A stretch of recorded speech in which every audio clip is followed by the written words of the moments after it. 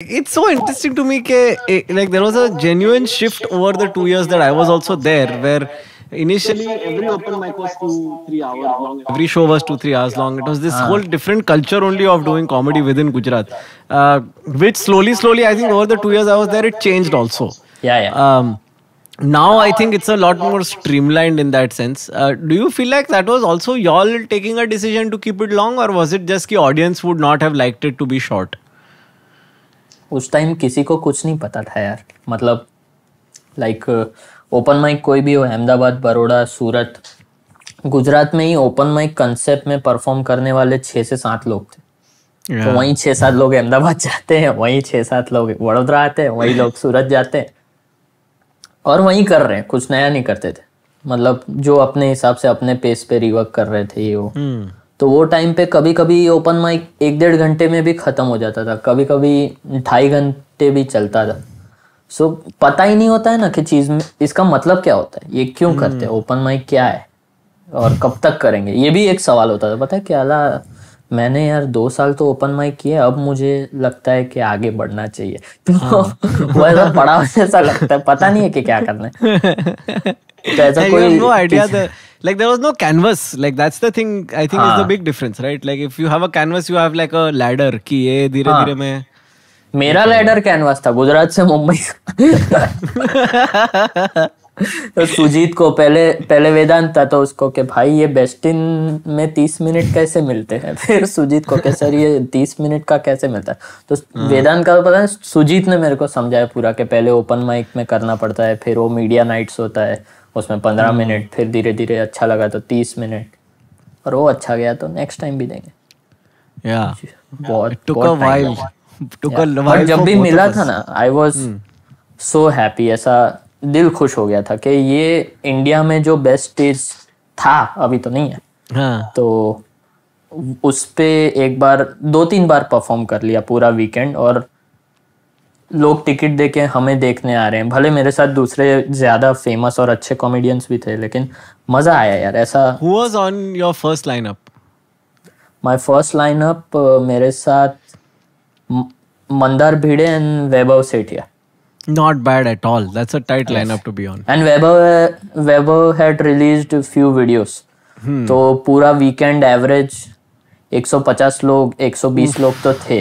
और Saturday Saturday और Sunday को तो हाँ दो सौ ढाई सौ क्रॉस कर गया था। सैटरडे दो शो रहता था और वो हमेशा जल्दी में करवाते थे शोज़ याद है? स्पॉट नहीं रहता था सैटरडे फ़र्स्ट शो में। और अगर 300 लोग आ गए तो डेफिनेटली फिर अगला शो तो लेट होने ही वाला है। मेरे को याद है कि सो वीकेंड और ये सब तो था बट जब भी like whenever I use to come to Mumbai for a day और to four a day actually સવારે આવવાનું રાતે બરોડા એક્સપ્રેસમાં પાછા તો तो I I use to make a schedule कि जब मैं सूरत क्रॉस करता था ना तो मैं सुबह ही सुजीत को मैसेज कर देता था कि भाई आज मैं और कोई रूम पे नहीं पूछा हाँ, कभी भी या तो कैनवास या तो हैबिटेट और किसी रूम पे मैं स्पॉट के लिए पूछता भी नहीं था मैं वो इतने बढ़िया रूम है दूसरी जगह क्यों जाना इधर मिल जाता है तो तो सुजीत ने you used to only come for fucking one day, हाँ एक दिन आ रहे तो उसमें कहाँ हसल हसल नहीं करूँ बहुत मार मारे सारो करो। तो तो मैं उसको मैसेज करता था कि भाई कैनवास पे स्पॉट मिलेगा? एंड वो एग्री कर देता था मैंने। और एक मेरे को याद है अवनी स्पेशली हम दूर थी जो आवेली खारगर थी। हाँ। Three hundred sold out Ashish Shakya मैं आई थिंक विपुल गोयल और एक दो थे मेरा खाली स्पॉट था लेकिन वो दस मिनट में वो जो आज ऐसा होता है ना कि आज नया जोक्स नहीं करना है आज ऐसा आज अच्छा लगना best चाहिए best, हाँ। तो best in stand up actually करते हैं आज वो दो जो टाइटेस्ट जोक है जो एग्जैक्ट दस मिनट पे खत्म हो जाते हैं हाँ। जिसके हाँ। पहले वो लाल लाइट फ्लिकर मारने लगे वो कर देने और फाड़ दिया भाई फाड़ मतलब उससे बेटर शो मैंने कैनवस पे दस मिनट कभी नहीं किए वो हम्म। बेस्ट था Man, those 10 minute spots were always stressful because by the time I started doing 10 minute spots, I was already doing an hour outside. So Exactly. it was it was so difficult to pick exactly what how much time you want to do. Especially I think it must have been interesting for you also because you got thrust into full time comedy way quicker than a lot of people do.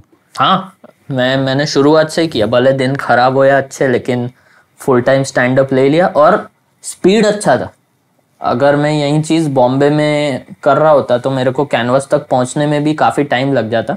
इधर मैं गुजरात में already establish होते जा रहा था करते जा रहा था। और धीरे धीरे फिर हिंदी में भी स्टार्ट कर दिया क्योंकि जोक्स अगर फनी हो तो, तो कोई भी लैंग्वेज में किए जा सकते हैं। बस थोड़ा उसका स्ट्रक्चरिंग और रिदम पकड़ना पड़ता है कि आप कितने फ्लुएंट हो वो लैंग्वेज में। बाकी तो यार सेट है तो। And the best thing about Canvas was कि उधर अगर कोई स्पॉट भी करता है ना भले उसका फेस वैल्यू हो या ना हो ऑडियंस को वो मैटर नहीं करता था क्योंकि Yeah. आपके आगे ही विपुल गोयल या कोई परफॉर्म करके गया है तो आपको भी उतना रिस्पेक्ट देंगे और चीयर करेंगे ताली बजाएँगे हंसेंगे तो वो रूम yeah. का वो वाइब था ऐसा नहीं है कि कोई बियर बोतल मार रहा है ऐसा कुछ गुजरात में कौन वैसे तेरे पे बियर बोतल मार रहा था यार तो वो रॉकेट की बोतल मार सकते पहले देसी हवाई छोड़े a lot of the time in Gujarat was doing private shows. Actually there's two things which I find very interesting the first is the fact that अभी फॉर एग्ज़ाम्पल जब मैंने स्टार्ट किया तो तभी देर वॉज़ अ रूल की you have to do all English क्योंकि तभी comedy store था. Then thanks to people like Amit and Zakir and all you know you start being able to do more and more Hindi in your sets but with you it's like you could do stuff in Gujarati from day one which is mother tongue A option મને હજી સુધી અહીંયા નથી like if I want do a Gujarati trial show in Mumbai it's just gonna be ten dosa dosis and it's not gonna be any kids because none of the Gujju kids here want to listen to Gujarati stand up તો how different is that and how weird is that transition for you to then come to Mumbai and then do Hindi switch इतना easy नहीं था यार क्योंकि if you remember we did a show in Canvas जिधर खाली सत्तर लोग आए थे और पहला कैनवस का जो कॉमेडी फैक्ट्री का टीम शो था उसमें से और हिंदी शो करने का था अपने को। हम्म। तो सेवेंटी टिकट्स ही बिके थे तो वो मेरा फ़र्स्ट टाइम कैनवस पे एक्चुअल फ़र्स्ट टाइम मेरा परफॉर्मेंस था उसके पहले मैंने कभी स्पॉट या कुछ नहीं किया था। शो और उसी दिन हिंदी में करना था। तो मैं पहले क्या होता नर्वस होता था तो ऐसा आवाज़ कांपने लग जाती। तो पहुंचो दस मिनट ना सेट में पहली पाँच मिनट तो खतरे का। ज़ीरो लाफ्स ऐसा मच्छर की भी आवाज़ नहीं क्योंकि उधर मच्छर नहीं होते। तो ज़ीरो लाफ्स एकदम काँप गया और फिर सेकंड हाफ़ में किया बहुत ही फंबल मार मार के लेकिन लाफ आ गए पंच लाइन्स पे। फिर मैंने सोचा कि देखो हिंदी मेरा एक ही फ़ायदा है कि because I grow up in Delhi till third how long were you in Delhi for I was in Delhi like मेरे जन्म के बाद दिल्ली चले गए थे मेरे मॉम डैड और मैं थर्ड स्टैंडर्ड तक उधर ही पढ़ता था। तो मैं बोलना दिल्ली में ही सीखा। तो मेरे हिंदी में अब थोड़ा आता है बट मैक्सिमम दूसरे गुजरातियों की तरह मेरे हिंदी में ज़्यादा एक्सेंट नहीं आता है गुजराती का। या तो मुझे लगा कि मेरे को प्रैक्टिस करना पड़ेगा। But. Plus, I think your understanding of the language is way more. You don't make the fumbles that other Gujarati people. हाँ वैसा नहीं कि हम करेंगे तुमको फावेगा ऐसा। वो गंदा स्टीरियोटिपिकल नहीं करना है मेरे तो मैंने सोचा कि जो गुजराती में गुजराती क्या फ्री फ्लोइंग में निकलता है तो उसमें जोक अच्छी होंगी। बट हिंदी में मेरे को थोड़ा थोड़ा लिखना पड़ेगा फिर आ जाएगा।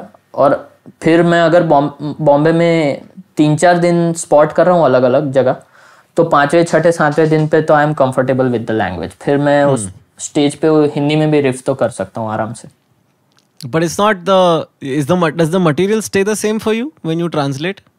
Of course यार इतना मेहनत से पंच लिखा है भाषा की वजह से जाने थोड़ी देंगे तो। वो वो आई थिंक वो I think Hindi to Gujarati में इतना नहीं होता। I think it's like a scaling down of what you can use five to ten percent फ़र्क पड़ता है। और वो हमेशा रहेगा क्योंकि गुजराती फ़र्स्ट लैंग्वेज है। वो सेम And बंगाल का कैसा मराठी और हिंदी में होगा वैसा। फील कल्चरली बहुत फ़र्क है ना। Like the the cultural things in Gujarati are only for Gujaratis but in Hindi immediately are writing for a national cultural idea. और इसीलिए मैंने ये पहले से डिसाइड किया था कि मैं जितने भी जोक लिखूँगा ना वो मैं स्टेट या लोगों के स्पेसिफिक नहीं लिखूँगा। मैं जेनरिक ऑब्जर्वेशंस लिखूँगा जो मेरे को फनी लगते हैं। और वो अभी तक लकीली सारे न्यूट्रल ही है तो वो कहीं भी चल जाते हैं। यूएस में भी चल गए तो प्रॉब्लम नहीं है। हम्म। स्टार्टिंग में होता था वो गरबा वरबा जोक लिखा वो बंद कर दिया क्योंकि गरबा खेलता नहीं हूँ तो मैं उस पर जोक क्यों लिखूं?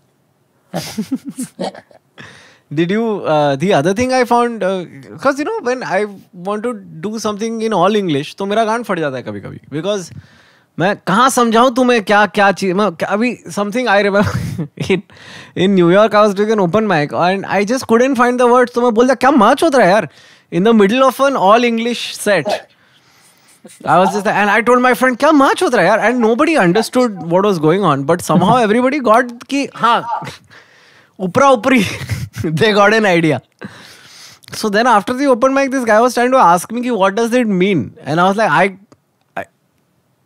तो मैं बोला एक्स एन एग्जेस्पिरेशन मैं ऐसा बोल दिया उसको। मैं बोला किसी को बोलना मत पर है ये हिंदी में। वही ना यार अभी कहाँ इतना?